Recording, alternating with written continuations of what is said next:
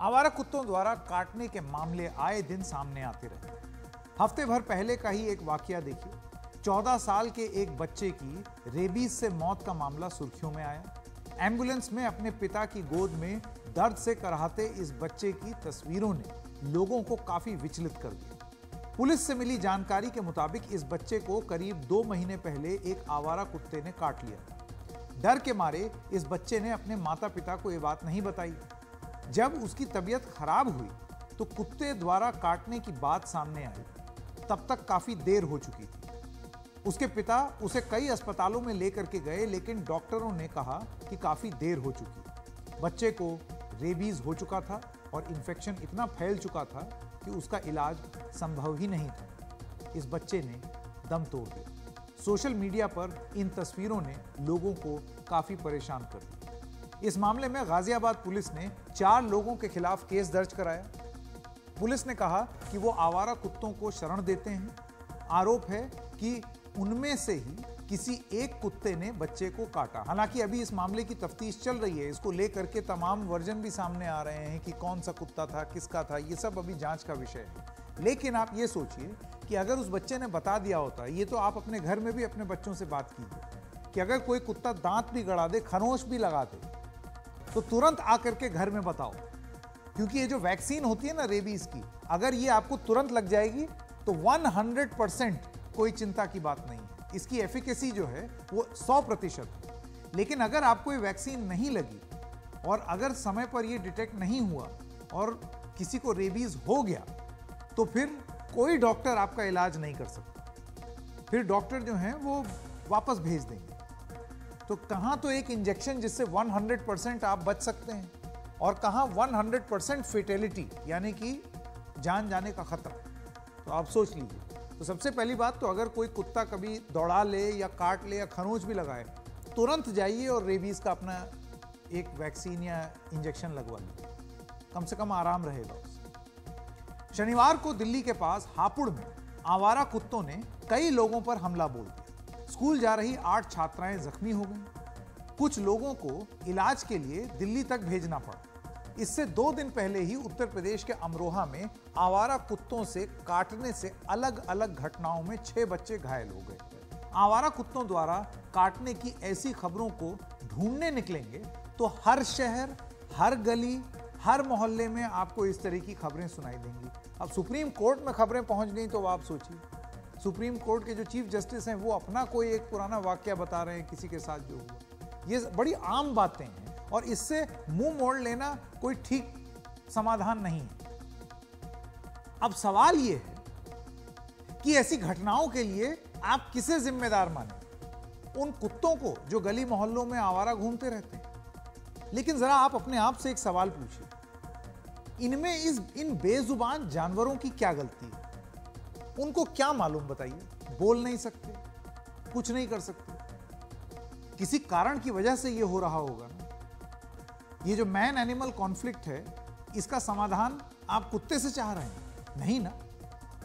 इस संवेदनशील मुद्दे पर आगे बढ़ने से पहले आपको फिर एक बार बता दें।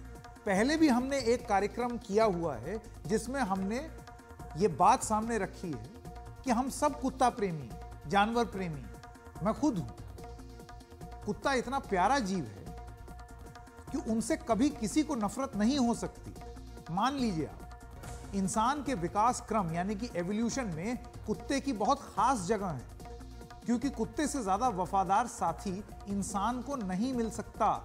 भले ही कोई आपका साथ छोड़ दे, आपका वफादार कुत्ता आपके साथ अंत तक वहीं रहता है। बहुत सारे ऐसे भी प्रकरण हुए हैं। आप तमाम स्टोरी सुनेंगे, किसी को कुत्ते को बहुत दूर छोड़ आए, वो पैदल दिनों दिन चल करके वापस आ गया। या रात में सब लोग सो गए, एक कुत्ता जगा हुआ है आपके इंतज़ार में। ये सब होता है। तो फिर ऐसा क्यों हो रहा है कि आए दिन देश में कभी किसी सोसाइटी, कभी किसी कस्बे में ऐसी तस्वीरें आती हैं, जिससे पता लगता है कि आवारा या पालतू कुत्तों के काटने से लोग घायल हुए हैं? और मर भी गए। कमज़ोर लोग, बच्चे, महिलाएँ, बूढ़े, आवारा या पालतू कुत्तों की हिंसा के शिकार ज़्यादा हो जाते हैं। अगर आप ठीक से देखें तो कुत्तों के काटने से जुड़ी इन घटनाओं के लिए कुत्ते जिम्मेदार नहीं हैं। उनको ब्लेम करना गलत तरीका है। उनसे घृणा रखना गलत सोल्यूशन ये समाधान नहीं हो सकता। जैसे कि मैंने बताया, कुत्ता इंसान का सबसे वफादार साथी रहा है। ये उसकी बेसिक फितरत है। उसकी आँखों में एक मासूमियत दिखती है। मुझे, मेरी बात अगर आपको बनावटी लग रही है तो आप देखिए, अपने आप आपको एहसास हो जाएगा। इसी वजह से समाज दो धड़ों में बटा हुआ है। एक, जो ये मानने को तैयार नहीं है कि कुत्ता प्यारा हो सकता है, उनको कुत्ते से नफरत हो गई। और एक, दूसरा, जिनको कुत्ते की इतनी मोहब्बत है कि वो ये मानने को तैयार नहीं है कि कुत्ता अटैक भी कर सकता है। ये दोनों ही लोग अपनी अपनी परिस्थितियों के हिसाब से रिएक्ट कर रहे हैं। सच्चाई इसके बीच में जैसे कि हमेशा रहती है सेंटर में, मध्यम मार्ग पर। कुत्ते अटैक भी कर रहे हैं और ये कुत्तों की फितरत भी नहीं है और ये उनकी गलती नहीं समाधान हमको ढूंढना एक मासूम जानवर हिंसक कैसे हो जाता है और इसका जिम्मेदार कौन है? कहीं हम ही तो नहीं है। इस पर करेंगे बात, लेकिन पहले कुछ आंकड़ों पर निगाह डाल लेते दुनिया में सबसे ज़्यादा आवारा कुत्ते अपने भारत में हैं। एक ताज़ा अनुमान के मुताबिक भारत में 6 करोड़ 20 लाख आवारा कुत्ते हैं। आप सोचिए, इतने तो हमारे यहाँ राज्यों की आबादी नहीं है। इतने आवारा कुत्ते कुत्तों के काटने से होने वाली बीमारी रेबीज से सबसे ज़्यादा मामले भारत में ही आते हैं। यहीं पर। भारत में रेबीज के 97 परसेंट मामले कुत्तों के काटने से ही होते हैं।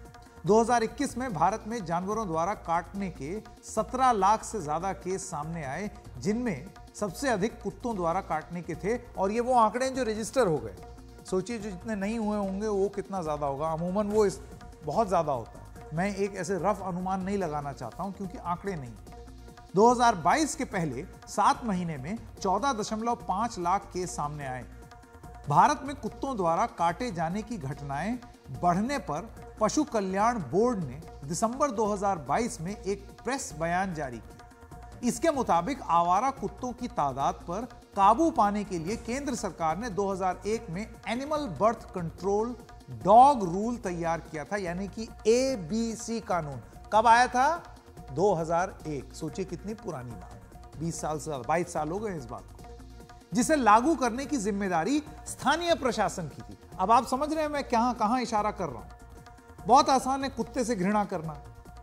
कि कुत्ते को मार भगाओ, मेरी कॉलोनी में एक भी कुत्ता मेरी आँखों के सामने नज़र ना आए, कैसे हो सकता है ये? मैन एनिमल कॉन्फ्लिक्ट है ये तो। समस्या का समाधान हमें ढूंढना है। समाधान था 22 साल हो गए। क्या स्थानीय प्रशासन अपना काम कर रहा है? अब ये जो एनिमल बर्थ कंट्रोल कानून था, इसके तहत आवारा कुत्तों की तादाद बढ़ने से रोकने के लिए उनके बंध्याकरण, उनके एंटी रेबीज टीकाकरण, इन सब चीज़ों पर ज़ोर दिया जाना चाहिए कुत्ते की एवरेज लाइफ कितनी होती है? 12 साल 13 साल। अगर एनिमल बर्थ कंट्रोल हो जाता, ये बंध्याकरण हो जाता तो कुत्ते की पॉपुलेशन अब तक 20-22 साल में ऑटोमेटिकली बहुत कम हो गई होती, आवारा कुत्तों ऐसा हुआ नहीं हुआ। क्या इसके लिए जिम्मेदार कुत्ते हैं? नहीं। प्रशासन। लेकिन यह देखा गया है कि इस नियम पर नगर निगम या नगर पालिकाएँ बिल्कुल ठीक से अमल नहीं करती।